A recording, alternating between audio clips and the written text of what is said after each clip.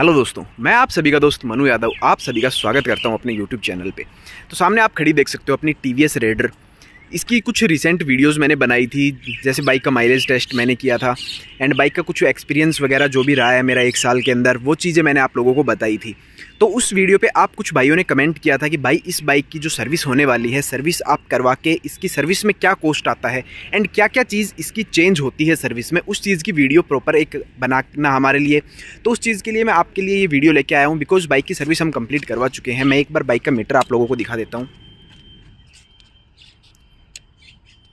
अभी आप ओडोमीटर देख सकते हो, एक बार बाइक का तेरह हज़ार नौ सौ चौबीस किलोमीटर, तेरह हज़ार नौ सौ चौबीस किलोमीटर मीटर है बाइक का। एंड बाइक का जो यहाँ पे सर्विस साइन आया हुआ था, सर्विस साइन बाइक में से हट चुका है, बिकॉज़ सर्विस हम कंप्लीट करवा चुके हैं। एंड बाइक आप एक बार देख भी सकते हो। मेरी लास्ट वीडियो में आपने देखा था बाइक यहाँ से काफ़ी ज़्यादा गंदी हो रखी थी। एंड एक चीज़ जो मैंने आप लोगों को पहले भी बताई थी कि ये बाइक है। अब जैसे सर्विस करवा के लेके आए हैं पुलिस वगैरह कर देते हैं बाइक के ऊपर सर्विस के बाद एंड चेन ल्यूब भी कर देते हैं। तो उसके बाद देखो, अभी सर्विस करवा के लेके आए हैं, और अभी फिर से कितनी गंदी कंडीशन हो चुकी है। मतलब एक दो दिन हो गए हैं सर्विस करवाए हुए, लेकिन फिर भी काफ़ी ज़्यादा गंदी कंडीशन हो गई है। बिकॉज़ एक तो ये चैन प्रॉपर तरीके से कवर नहीं है। कुछ भाइयों ने ये कहा था कि, भाई स्प्लेंडर की तरह कवर कर देंगे तो फिर स्प्लेंडर में और इसमें क्या फ़र्क बच जाएगा?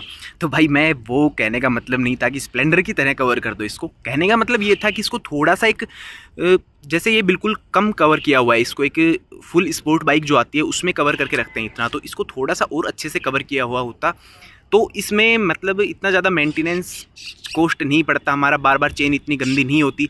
चेन गंदी होने से इसका स्प्रोकेट वगैरह भी ख़राब होता है चेन भी ख़राब होती है। तो उस चीज़ के लिए बोल रहा था भाई कि ये थोड़ा सा अगर अच्छे से कवर होता तो शायद ज़्यादा बेटर होने वाला था। तो अब मैं आप लोगों को बताने वाला हूँ कि भाई इस बाइक की सर्विस में कितनी कॉस्ट आई है। तो एक्चुअल में एक्सपेक्टेशन से कुछ ज़्यादा ही कॉस्ट आ गई है, हमें भी नहीं पता था, इतनी कॉस्ट आ जाएगी सर्विस में।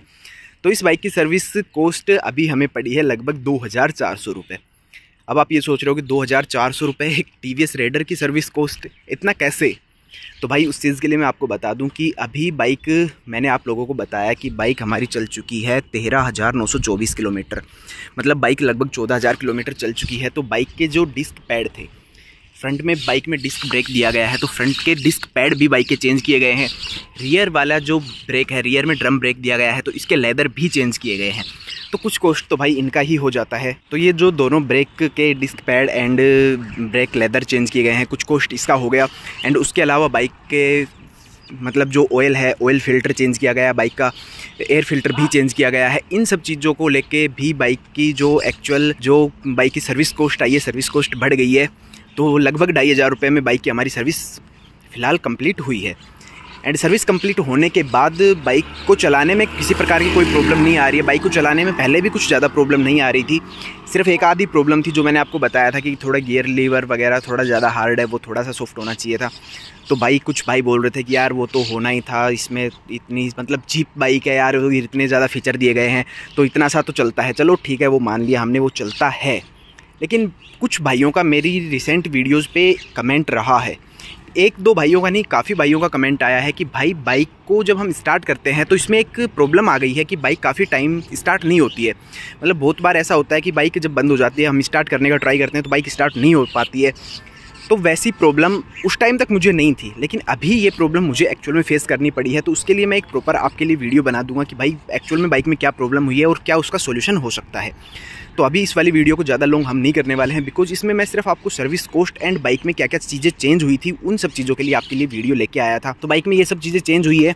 बाइक का ऑयल तो चेंज होता ही है एंड अभी बाइक को हमें परचेज़ किए हुए लगभग एक साल हो गया है तो आगे जो इसकी सर्विसेज़ वगैरह होने वाली है पेड सर्विसेज़ वगैरह सब कुछ होने वाला है, अभी भी बाइक की पेड सर्विस ही थी तो इसका कॉस्ट हमें पड़ गया है लगभग ढाई हज़ार रुपये एंड बाइक में एक ये जो छोटी प्रॉब्लम आई है, इसका भी हम देखेंगे क्या सोल्यूशन होता है। अभी तक हमें सोल्यूशन एक्चुअल में मिला नहीं है, वरना उस चीज़ को भी हम कवर कर लेते। लेकिन इसमें एक्चुअल क्या प्रॉब्लम हुई है? उस प्रॉब्लम को प्रॉपर तरीके से जानने के बाद उसका जो सोल्यूशन होने वाला है सोल्यूशन के साथ आपके लिए एक इसकी स्पेशल वीडियो हम लेके आने वाले हैं। तो ये जो सर्विस कोस्ट एंड सर्विस में क्या क्या चेंज हुआ, इस चीज़ की वीडियो आप लोगों को पसंद आई हो तो वीडियो को लाइक कर लेना। अपने भाई के चैनल को सब्सक्राइब ज़रूर कर लेना। चलिए मिलते हैं अगली वीडियो में। तब तक के लिए bye bye tata take care